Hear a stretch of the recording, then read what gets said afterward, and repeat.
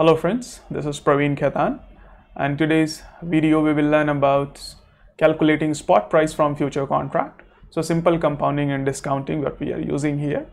So Infosys future contract is currently trading at let's suppose 1005 risk-free interest rate is 6% and expiry date is 30 days. So which means this future contract is calculated based on 30 days expiry and the interest rate is 6%.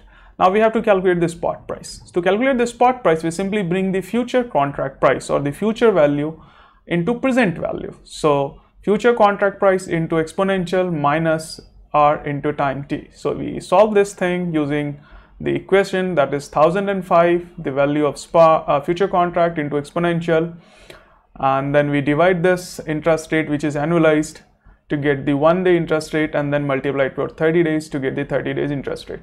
So how do we solve this equation using financial calculator? We will learn right now. So follow these steps. So step one, enter the clear the work, enter the interest rate that is 0.06. Now what we do is we press the plus minus button here.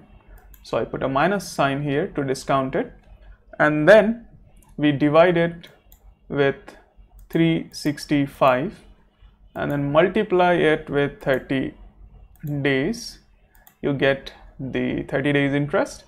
Now press the second key here. You can see here second is written here right now. And press the ln key here. So this gives you continuous rate.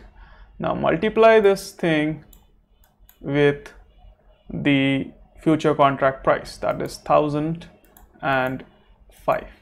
And get the value so we get the value here which is 1000.0560. So this is the basically present value or the spot price derived from future contract. So this is nothing but simple compounding and discounting. So here you are using the future value into exponential minus RT. Okay, so this is nothing but the compounding and discounting. So we simply discounted the future price or the future value to bring it to the present value which is the spot rate. So this is again very simple. You need to practice and you get expert. Take care. Bye-bye.